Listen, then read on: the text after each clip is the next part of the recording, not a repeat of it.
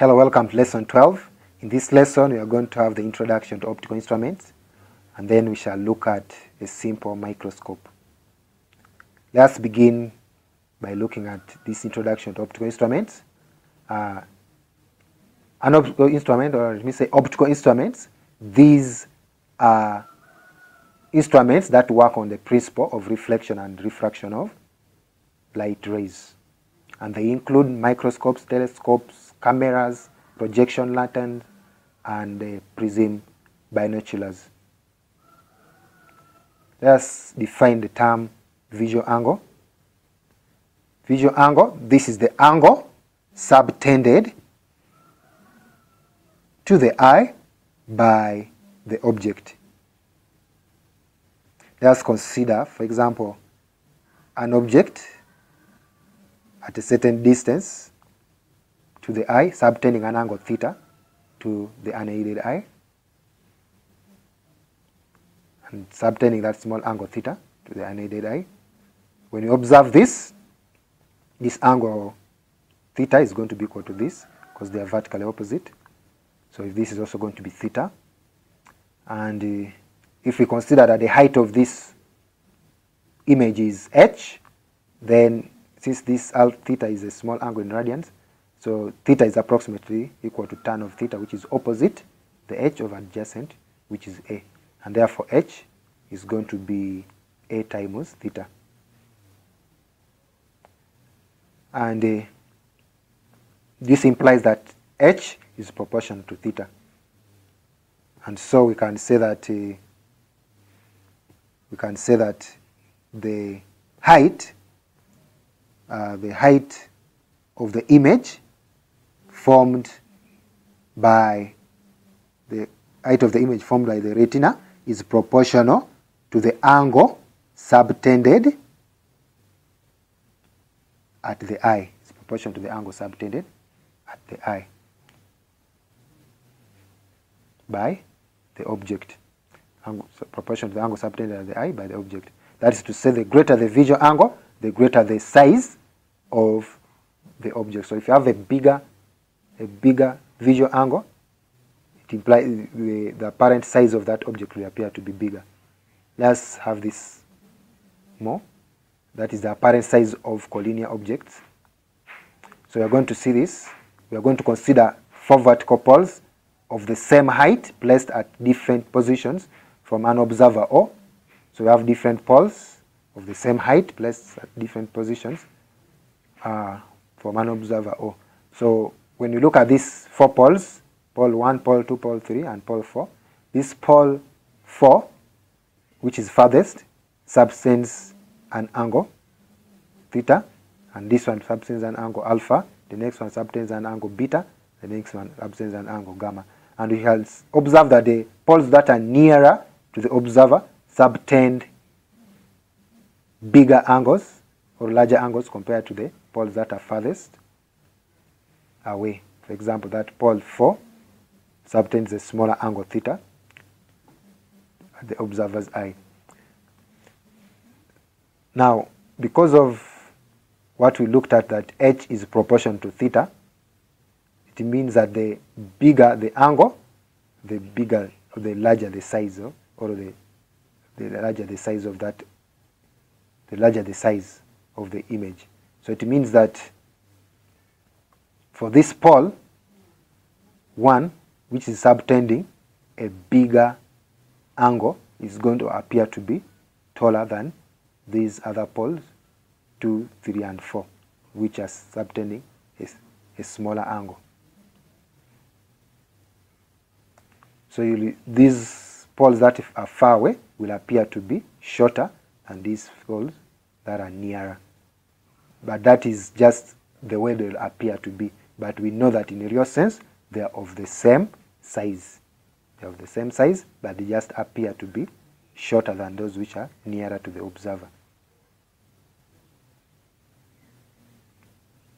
However, if objects say P and Q subtend the same angle at the observer's eye, the object appears to be the object appears to be of the same size although the farthest object P is physically bigger than that at Q. Let's see this. We are saying that if in case they have the subtending the same angle, for example, if you have this pole P and this object P and Q, they are subtending the same angle theta. They are subtending the same angle theta. So they will appear to be of the same height, and yet in actual sense they have the different height. But because there's they are uh, but because they are subtending the same angle theta, they are going to be appearing to be of the same height, though they are physically having different sizes. They are physically having different sizes. Let's look at angular magnification or magnifying power of an optical instrument. So this is the ratio. We are defining angular magnification or magnifying power. Uh, this is the ratio of the angle subtended at the eye by the final image, that is the final image formed, when using the instrument or when using an optical instrument to the angle subtended at the unaided eye by the object. Now when you talk of unaided eye, let's note that this unaided eye is when the object is viewed without using an instrument. That's what we call unaided eye, when you are viewing the object without using an instrument. Let's look at microscopes. A microscope is an instrument used for viewing near objects. Is an instrument used for viewing near objects. And in normal adjustment, or in normal use, the image formed by the microscope is usually at a least distance of distinct of distinct vision or distinct uh, that is of distinct vision D when it is in normal adjustment the it is always going to be at the image is going to be at a distance of the least distance of distinct vision D which you usually call D abbreviated as capital D from the eye. Let's look at angular magnification of a microscope. Now for a microscope, this is the ratio of the angle subtended at the eye, angle subtended at the eye by the image at a near point when the microscope is used to the angle subtended at the unaided eye by the object at a near point. That is the angular magnification of a microscope. Now, we have different types of microscope. We have simple microscope and compound microscope. So in this lesson, we are going to concentrate in simple microscope. So let's look at simple microscope which we at times call the magnifying glass in normal use or in normal adjustment. So when it is normal adjustment, uh, then it means that in usually normal use, the magnifying glass is going to form a virtual magnified image. While in when it is not in normal use, it's going to be forming an image at infinity. Now, before using this instrument or this microscope here, uh, we first of all view an object at a near point. We shall first of all view an object at a near point using unaided eye.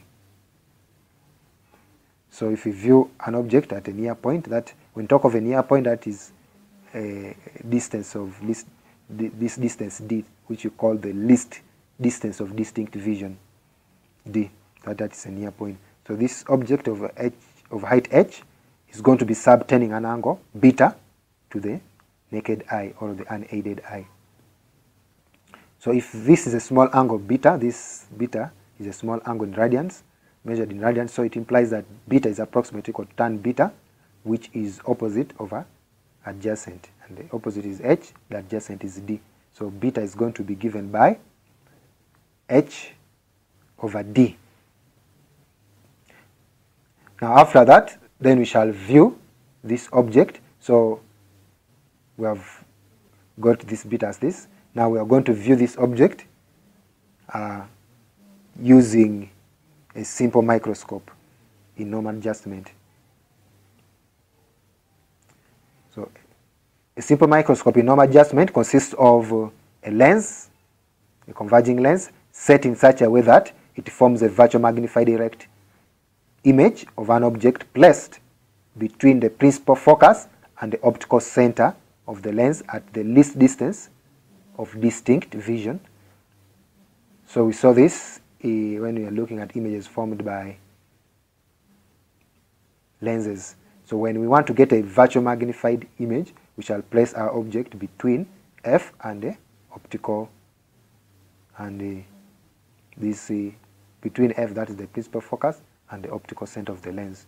And when we place that object here, we shall get a magnified image of height h, let's call this h1, of height h1, of height h1.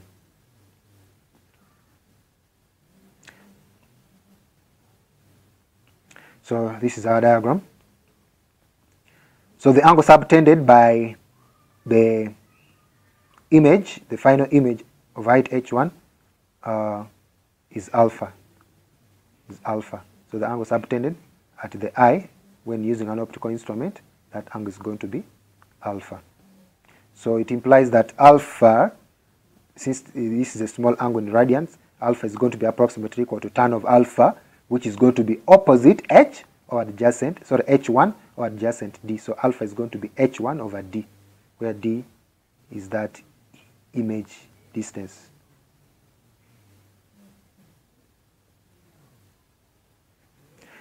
So we now have alpha and have beta. So we can get our magnifying power or the angular magnification.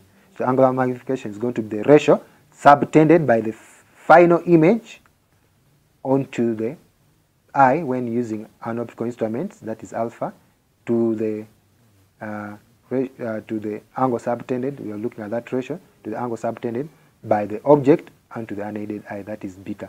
So we shall have alpha divided by beta as the angular magnification. But we know alpha is this and beta we got it as h over d, so we shall have our m as h1 over h. And when you look at this, h1 over h is actually a linear magnification. h1 over h is linear magnification. Height of the ratio of the height of image to the height of object is the linear magnification. And that linear magnification we, we, use, we represent it using small m. And so we shall see that the capital M is equal to the small m. The angular magnification is equal to the linear magnification. But we know that m is equal to v over f minus 1. We showed this, where actually v is the image distance, which is d. And uh, since it is uh, a virtual image, then it's going to be negative d. And we, when we substitute here, it implies that the angular magnification is going to be negative d over f minus 1, where f is the focal length of the lens. Let's look at some examples. Uh, we're going to look at this example here. Calculate the angular magnification produced by a magnifying glass of focal length 5 centimeters adjusted such that the, an image such that an image is formed at a distance of 25 centimeters in front of it.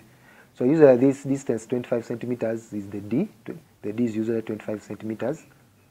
And the F is, the, so this is the image distance D, which is the 25 centimeters.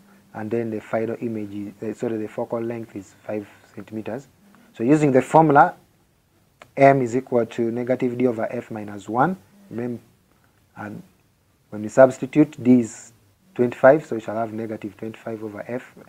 f is uh, 5 centimeters. So since this is a converging lens, it's going to be positive, positive f. So we shall have our m as negative 6. Remember, this is a virtual image. So in, in simple terms, the magnification, the angular magnification is going to be 6.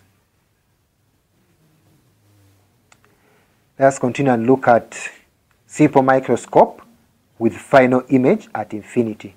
So when the final image is at infinity, we shall have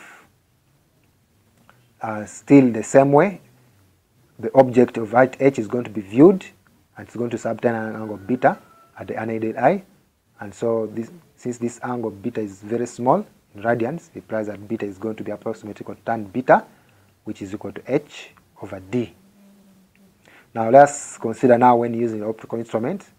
So we are going to here now consider uh, this simple microscope that is a converging lens and then the object being placed at f.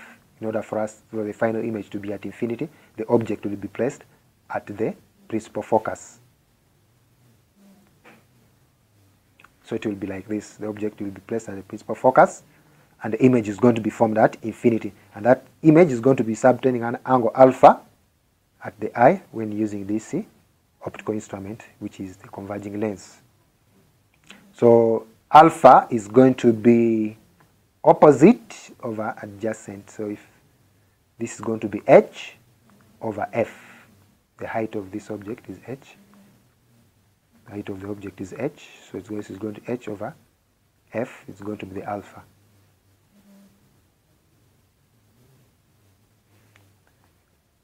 And our beta is h over d. So when we substitute magnification, angular magnification is alpha divided by beta.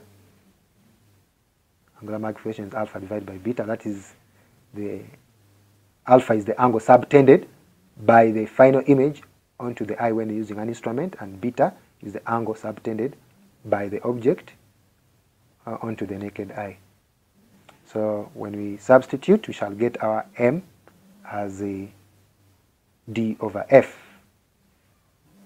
So the angular magnification for a simple microscope with final image as infinity is going to be d over f, where f is the focal length of the lens, d is the least distance of distinct vision, which is usually 25. Let's last look at the dispersion in a magnifying glass. So when you consider this magnifying glass, uh, remember the image formed is usually virtual magnified. So when you place an object here, the image, now a ray parallel to the principal axis is refracted to the principal focus and the ray passing through the optical center goes undeviated. Now at this point there is going to be refraction. But because if you consider, for example, an object, uh, white light usually undergoes dispersion. So because of that, we are going to have different rays due to the different component colors that comes from the white light. So this ray is going to undergo dispersion at this lens.